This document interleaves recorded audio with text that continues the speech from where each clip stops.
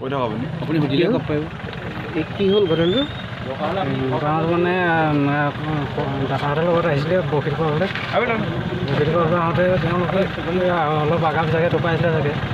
এই তেওঁ এই দলঙৰ ওচৰতে বহি টোপাইছিলে বশী তেওঁ পানীত পৰি মূৰ ঘূৰালে নে কি হ'ল নাজানো মইতো ঘৰতে আছিলোঁ। পিছত ফোন কৰোঁতে গম পাইছোঁ।